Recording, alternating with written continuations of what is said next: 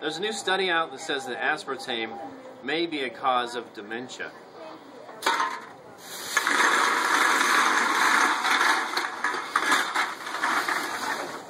Where was I going?